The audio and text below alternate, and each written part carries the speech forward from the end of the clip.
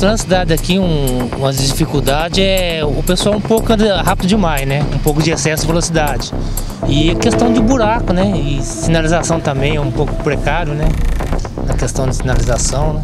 Tipo assim, o volume de veículo, que eu, no meu entender, é um volume até razoável, mas só nos picos, né? De, de, de, de entrada e saída de comércio, né? Mas, talvez se fizesse tipo vias únicas, né? Igual pro centro aqui, resolveria, né? Nós que moramos aqui há 55 anos, já pegamos as diferentes etapas. Hoje está um pouco quanto complicado.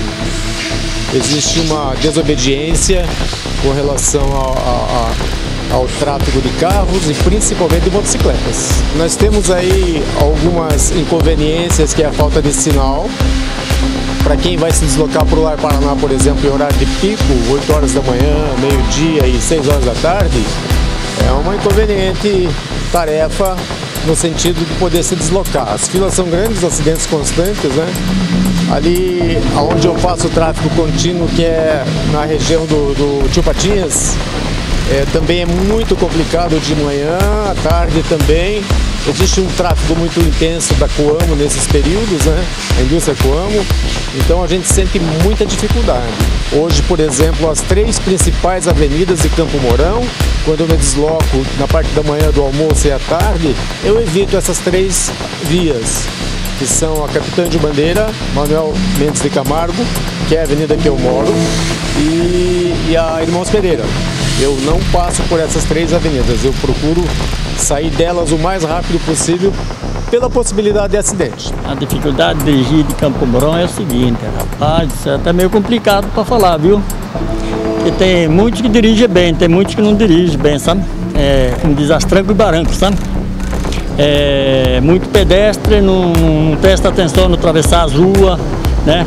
Atravessa de qualquer jeito, né? Motoqueiro que não respeita o, o trânsito, que devia ter mais respeito, bicicleteiro também, pode a contramão, vai contramão, velocidade, né?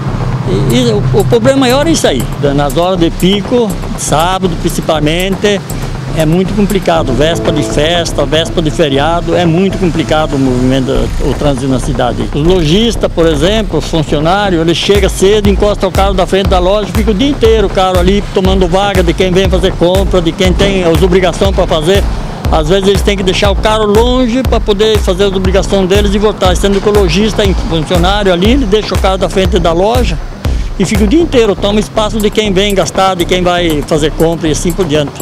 Estacionar no centro, dificilmente. Tem que, tem que rodar para achar vaga. Paciência, paciência mesmo. Acho que, que seria melhor andar de a pé do que andar de carro certas horas aí.